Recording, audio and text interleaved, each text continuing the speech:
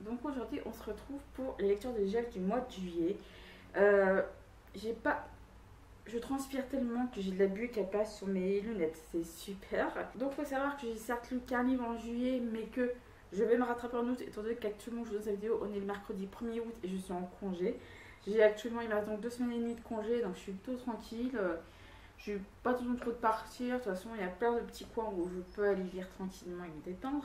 Actuellement, donc j'ai un livre à vous présenter euh, sur ma liste que j'ai lu. Une nouvelle acquisition, tout reste qui est là, c'est euh, que des lectures que j'ai l'intention de faire en août. Je sais que j'aurai pas l'occasion de, enfin peut-être la possibilité plutôt, pas l'occasion, peut-être la possibilité de pas tous les lire. Mais si je le dis beaucoup, ça marche.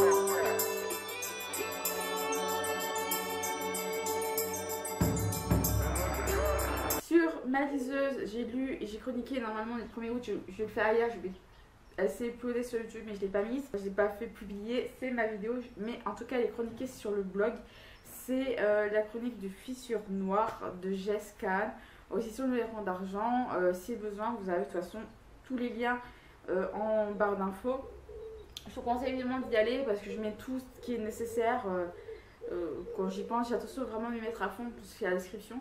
Mais normalement, je mettrai le lien euh, de l'article écrit, voire même de l'article vidéo. Euh, s'il faut, je vous mettrai dans le i là. Mais sinon, j'hésite pas à. Forcément, je pense à le faire. Il y a pas de monde. Mais en tout cas, je vais en sortir que ce soit dans la description.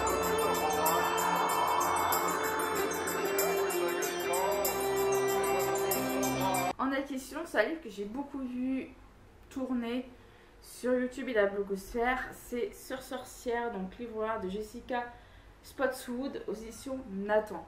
C'est un livre qui a beaucoup tourné il y a quelques années, je crois, euh, au moins 4 ans, je crois, près 3-4 ans. J'ai pas la notion du temps, je suis désolée. Euh, on suit donc euh, trois sœurs au XXIe siècle qui seraient toutes les trois des, justement des sorcières et elles doivent accomplir une, une prophétie. je sais pas si on dit comme ça. Ouais, voilà. Et leur mère leur a dessiné. Donc ces trois sœurs sont apparemment des sorcières et elles doivent accomplir cette prophétie. Je sais pas trop en dire parce que moi j'essaie de comprendre un peu euh, moi-même le récit, mais j'ai l'intention de vous en parler un peu plus quand je, bah, quand je l'aurai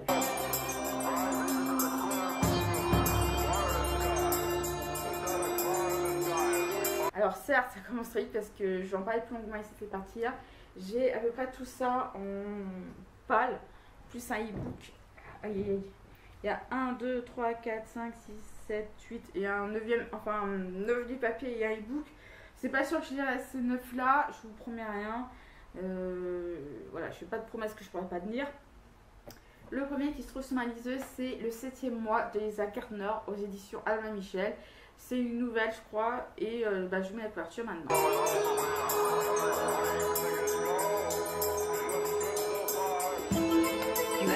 En fait, on suit euh, une jeune enquêtrice, D.D. Warren, je crois que c'est ça son nom, j'ai plus le nom en tête, je qui est enceinte de 7 mois, qui était une bonne enquêtrice, mais depuis qu'elle est justement tombée enceinte, on l'a mis à la, bah, réception.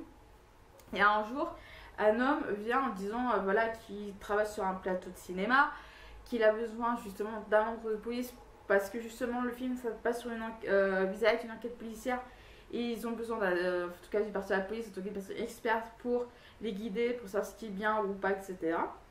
Donc notre cher Dédé va se... Didi, je sais pas parce que c'est deux initiales, hein, donc Dédé, va donc euh, accepter de dire voilà, je veux bien simplement participer à votre film en tant qu'experte, etc. Sauf que euh, sur le plateau de tournage, il va y avoir un meurtre, mais un vrai cette fois. Et Dédé, elle va tout simplement décider bah, de mener son enquête. Autre livre que j'ai commencé à lire il y a quelques. que je commençais à lire juste au mois de juillet, euh, vous avez dû forcément le voir parce que j'ai dit que j'allais euh, forcément bah, pas mal le lire. C'est Le hameau de la reine, le monde euh, rêvé de Marie-Antoinette de Jean Descartes, aux éditions Françoisir. J'en suis à un bon tiers à peu près, entre le tiers et la moitié. Franchement, j'adore. Franchement, j'adore parce qu'on voit vraiment le parcours du, du hameau de la reine, le Trianon, etc. Moi, je trouve ça vraiment intéressant. C'est grave illustré. Euh, actuellement, le seul truc qui me dérange, ça par exemple là, il y a marqué, là la phrase termine par un petit escalier. On tourne la page, on s'attend à voir la suite de la phrase, que voilà. Donc on tourne là. et la phrase se continue là. Je trouve ça tellement dommage que euh, souvent les, des phrases qui s'arrêtent en bas de page, quand on tourne, sont entrecoupées de ça et quand on arrive on dit Ah, c'est quoi déjà la fin de la phrase, donc obligé de revenir euh, avant le début de la phrase. Mais sinon, c'est un bon bouquin qui, euh, qui remonte bien cet univers-là, justement du hameau de la reine, comment il a été construit, parce qu'il était bien avant que Marie-Antoinette devienne dauphine de France. Hein, elle est arrivée, était dauphine, elle n'était pas encore reine. Et je trouve ça vraiment intéressant, notamment à l'époque de Louis XV, euh, Louis XIV, Louis XV. Euh, voilà, je suis certes, euh, certes mal la Révolution française et ma peur de prédilection, mais j'aime bien l'avant-révolution, de savoir euh, qu'est-ce qu'il a bien pu faire, cette ambiance, notamment cette ambiance monarchique, en tout cas comment on vivait à la cour, etc. Même voilà la différence entre les nobles et le tiers état, c'est-à-dire le, peuple. Ça passe notamment pour le hameau de Un livre, ça va faire maintenant un bon paquet d'années. J'ai commencé, mais je l'ai mis en pause. Euh, J'essaie donc de le reprendre aussi. C'est pas le seul. Il y en a un autre là, c'est aussi le cas que j'ai mis en pause à un bon moment. C'est Le secret des abbayes et des monastères. Des, des monastères, des monastères de Ruel. Je suis arrivée en plein milieu d'un chapitre qui est déjà assez long. Euh, j'ai pas loupé donc ça apparemment, mais euh, j'aime bien l'ambiance des, monastères et des abbayes. Notamment les monastères, c'est vraiment extrêmement laquelle euh, le, principe de se recueillir, etc. Moi j'aime beaucoup. Euh, il y a des abbayes, des, des régions tout autres, donc c'est que j'aime le plus. Donc voilà, j'ai mis ma marque-page aimantée représentant une abbaye. Et l'abbaye de. J'oublie toujours le nom, et par contre, ouais, l'abbaye de Boscondon, qui est, je sais plus dans quel département. Donc ça c'est la chapelle, vous voyez, euh, totalement dénuée de vitraux, etc. Euh, toute décoration sur la mur, etc. Euh, là c'est comme quoi elle est vraiment plus mentale. Je crois que c'est par de Gap, je crois. on était en vacances, je crois, près de Gap et je crois que c'est dans cette région-là. Et puis là c'est le clocher. C'est un marque-page qui est monté. Et j'adore les marque-pages aimantés, surtout quand on Un autre livre que j'ai à lire aussi, ça fait un bon bon temps qui est dans ma page, mais aussi il faut que je le sorte pour finir là la quadrilogie. Enfin, je vous explique. Le tome 1, c'est un tome. Le tome 2 euh, est divisé en deux parties. Donc, c'est-à-dire que le tome 3, c'est le euh, tome 2, euh, deuxième partie, en fait.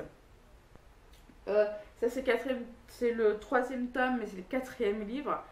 Euh, pour la faire courte. Hein, en fait, ça fait 1, 2.1, 2.2, 3. Même si c'est le. Et par contre, oui, c'est bien le quatrième livre, mais troisième tome. Je pense que vous avez compris. Hein. Il s'agit donc de la Fondation 2, donc le tome 3, L'ombre des nuages de Pierre Arnaud François, édité chez Hervé. Je ça dommage de ne pas l'avoir dans le même tome avec les autres. Format que les autres, là, il est en format semi-poche, enfin un peu plus grand. Les autres sont en format poche. Euh, je l'ai personnellement, je ne sais plus quelle lecture du dégel. Mais c'est vrai que je les ai là, les autres, et comme vous pouvez voir, la différence, elle est euh, pas que flagrante, j'ai envie de dire, on voit la différence qu'il y a euh, de taille. Je trouve ça dommage qu'il n'ait pas publié celui-là en format poche comme les autres. Donc là, il y a le tome 1, le veilleur. Le tome 2, par soit limite première partie, et là donc le tome 3, euh, soit limite deuxième partie, et donc ça c'est un peu le tome 4, mais comme c'est indiqué là, 2 euh, et 2 euh, tiers 2. Donc voilà, c'est une série que je commence vraiment à kiffer parce que c'est des livres que j'ai, par exemple, le premier j'ai quasiment lu en une journée quand même. Donc, euh, et moi, pour moi aller pour une journée, j'étais vraiment à fond dedans. Et je sens que c'est vraiment le cas également pour celui-ci. Je vais pas trop vous spoiler l'histoire, mais en fait, à chaque fois, ça pourrait être une histoire. Euh, en tout cas, le même principe, mais là, pas attention de, savoir plus sur le. Sur, en tout cas, ce dernier tome. Mais en fait, on suit à chaque fois un adolescent. Là, dans le cas, ce que j'ai compris, une adolescente. Astrid, elle a d'être une fille. Voilà, c'est une fille. Et en fait, dans les, deux, dans les trois cas, c'est donc un adolescent. Et là, euh, qui est adolescente, qui, euh, suite à un accident, suite à un événement, pas forcément, en tout cas du jour au lendemain, ils vont voir un être, un homme, leur disant que voilà, euh, vous êtes euh, bienvenue à la Fondation 2. Ils s'évanouissent, ils atterrissent dans une espèce de hall avec d'autres enfants, de d'autres horizons qu'eux. Et moi, c'est ça que je trouve ça vraiment intéressant, c'est ce côté où en fait on dit vous êtes des mutants et vous êtes dans une école pour apprendre à vos, vos pouvoirs, etc. Tandis que là, c'est quatrième tome, dans le. Limite, il y a vraiment eu un tournant qui a été fait par le premier, tome. Le premier tome, c'était vraiment un tome d'entrée. Et là, j'ai vraiment de, de ça, ce que ça tape. Là aussi, livre que j'ai mis en pause pendant quelques années, euh, pas longtemps, 2-3 ans. J'en suis un. Moi, je de dépasser la moitié. Mais je l'ai repris euh, récemment. Et vraiment, je suis retournée à fond dedans. J'ai pas perdu de fil, j'arrive plus ou moins à me retrouver. Donc ça m'arrange un peu. Je suis une personne que si j'arrive à revoir les éléments ceci par là, je peux facilement rentrer dedans. Donc ça, ça me dérange pas plus que ça. Euh, il s'agit d'Alliance éternelle, donc le tome 1, un nouveau cycle de Sandrine Roquia Le Breton, toujours chez Herveille et chez N Mineur euh, Édition. Euh, oui, j'ai un petit propos sur marque-page qui ressemble à ceci, c'est des grenouilles en, 3D, enfin 3D, aux éditions euh, Picolia. Je sais pas si j'en ai encore, je suis désolée. Euh, avec un point j'aime beaucoup. Certes, c'est des grenouilles, mais je trouve que par rapport à, la couverture, ça ressort un peu. Donc on suit Catherine, voilà, qui a 34 ans. Elle est mariée, elle a une petite fille de 3 ans, c'est ça. Elle a élevé lambda, tout comme vous et moi. Et du jour au lendemain, euh, elle est menée à une espèce de d'endroit par des gens qu'elle connaît pas. S'ils monte pas, elle va risquer de mourir. Donc elle monte. Euh, ça, ils emmènent également sa petite fille. et en fait, on lui dit qu'elle est Enya, euh, c'est une gardienne, et que elle et son âme sœur de, de son vie, Liam, ont banni un mage noir du nom de Marwan. Attendez, j'ai plus le nom. Oui, c'est ça, Marwan. Et que, étant donné que son investissement a duré à 1000 ans, là il va commencer à revenir à la vie. Et donc, il faut que les deux âmes sœurs soient réunies pour réellement mettre fin à ces complots.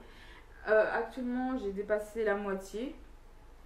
Donc voilà, hein, j'en suis pas plus à plaindre. Je pense que vraiment qu'il va faire très vite si je suis vraiment à fond dedans. Et euh, j'ai hâte bah, d'avoir le tome 2. Euh, j'avais rencontré l'auteur, c'est dommage qu'il n'avait pas mis la date. Euh, parce que je vous aurais dit quand je l'ai acheté. Mais franchement, je sens que je vais vraiment adorer. Et c'est une duologie. Si je dis pas de grâce, c'est une duologie. Donc j'ai hâte de lire celui-ci bah, pour procurer plus vite le tome 2 et de vous dire ce que j'en Un autre livre que j'ai plus ou moins commencé, que j'ai tout continuer, je sais pas, il va se marquer page, C'est la vie antérieure de Jean-Christophe euh, Jean-Christophe, Christophe André chez l'Iconoclaste. Je vous en avais parlé, c'est un livre de développement personnel, simple, il y a quarantaine de chapitres à peu près par rapport à... Et il y a euh, justement sur comment gérer la vie intérieure et sa vie intérieure, etc. Et il y a celui qui va avec, euh, moi je trouve ça vraiment intéressant, que c'était pareil pour euh, lui sur la méditation, enfin en tout cas la, la pleine conscience.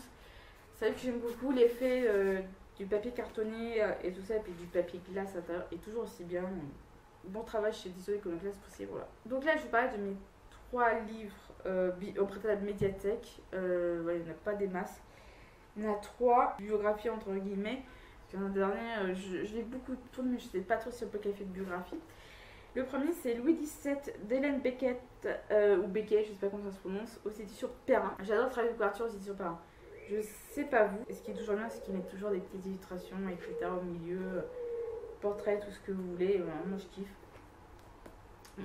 Louis XVII, c'est partie de ces rois qu'on n'entend pas parler, à savoir qu'il n'a pas jamais été sacré roi, officiellement, il était roi qu'aux yeux des. Euh, J'adore le mystère qu'il y a autour de, cet enfant. Hein. Euh, Louis XVII est mort à l'âge de 10 ans, donc ça, on ne s'en rend pas forcément compte.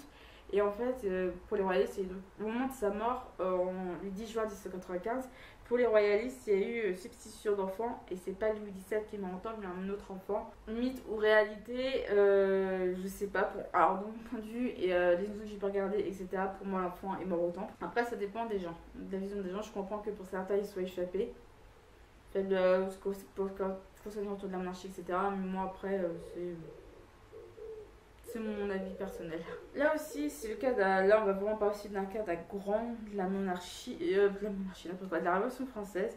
Oui, euh, la Révolution française, oui, vous êtes censé savoir, je vais pas rappeler une fois. C'est Robespierre, la probité révoltante de Cécile Obligy. Obligui, je sais pas comment ça se je pense, aussi Belin. Euh, Robespierre, c'est partie de ces personnages que je déteste sans connaître. Je crois que parmi les grands noms de la que je déteste, je mettrais, j'hésite en premier entre Marat et Robespierre. Euh, je les aime pas spécialement, voilà, hormis que ces deux hommes que je ne sais absolument rien de leur vie. Euh, à part Marat, j'ai vu l'émission euh, Pourquoi, Secret Histoire, Pourquoi Chacun assassiné Marat. Mais après, voilà, Robespierre, je crois que c'est un des personnages que je ne sais absolument que d'âge dans sa vie, son passé, etc. Ça peut permettre, de, pour moi, de comprendre le personnage ça passe. C'est écœurant. Oh là là, les, les gravures de l'époque, c'est impressionnant. Et le dernier que j'ai emprunté à que j'ai commencé déjà euh, pas spécialement à lire, c'est un livre que, de cet auteur, je crois que j'ai beaucoup vu tourner en ce qui concerne cette personne. Euh, c'est un livre que j'ai beaucoup vu tourner. En tout cas, même l'auteur, je l'ai vu tourner. Mais j'ai lu pas ces ouvrages. Alors je sais, euh, j'ai entendu du bien, mais j'ai jamais lu ces ouvrages. Je sais pas ce que ça vaut réellement. C'est Marie-Antoinette de Stéphane, Stéphane Zweig, aussi son livre de poche. Oui, comme peut le voir, c'est un livre qui a été un peu, euh, vous remodelé par la médiathèque, etc. Euh, moi, j'aime beaucoup. Euh, voilà, Marie-Antoinette, c'est un personnage aussi que je connais pour avoir vu euh, beaucoup de choses. Sur Marie-Antoinette, mais des, récits, des récits ou des choses concentrées vraiment sur elle-même, j'en ai pas lu en tout cas, j'ai vraiment hâte bah, de lire tout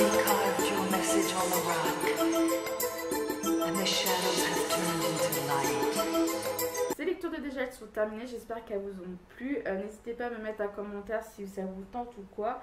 Si y a des livres qui vous tentent ou si au contraire vous avez des suggestions, des livres par exemple proposés, euh, ce qui concerne la Révolution française et, autres. Euh, et bien sur ce, bah, je vous dis bonne lecture et à bientôt.